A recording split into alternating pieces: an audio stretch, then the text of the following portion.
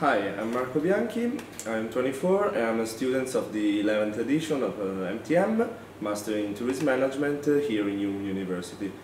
After a brief introductory module of Revenue and Channel Management uh, held by Damiano Zennaro,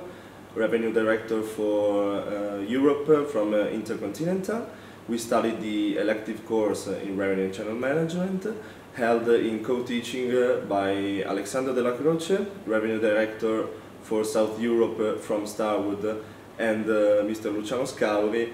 uh, revenue consultant for his own company of uh, International Revenue Consultancy.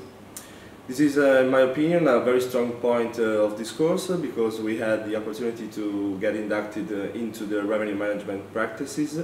with the support of three very different points of view like uh, the big hotel chains uh, such as uh, Intercontinental and Starwood and smaller unique realities.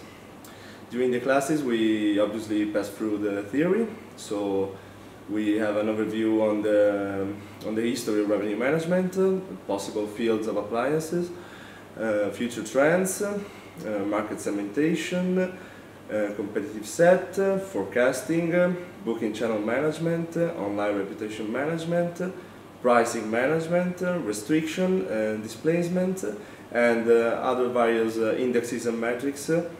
that uh, would help us to better understand where our business is going, if it's going well or is going good. Uh, we also made some practical exercises on uh, displacement, on forecasting, and on pricing. Um, we, uh, during the course we have also the opportunity to have a general overview of uh, hospitality management and hotel operations and we have we had also a lesson by Claudia Teani that uh, better explain us the relationship between uh, OTAs and big hotel chains. During the last day of uh, the elective course we went to the Westin Palace Hotel in Milan where we met uh, Alessia Conte, revenue director uh, for the Milan area from Starwood, obviously.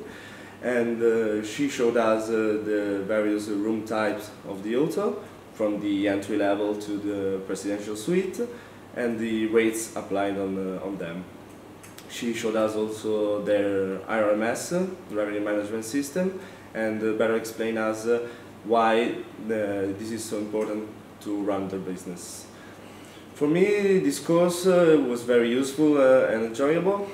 because uh, now I have a 360 degree mindset uh, over revenue management because uh, at the beginning of the course uh, I, I thought that revenue management was only producing numbers but it's, not, it's not this anymore. It's to take into account very other things, so, such as uh, online reputation management, uh, booking channels, uh, inventory, and, and other things. So I really enjoyed this course and I hope it will be the same for you.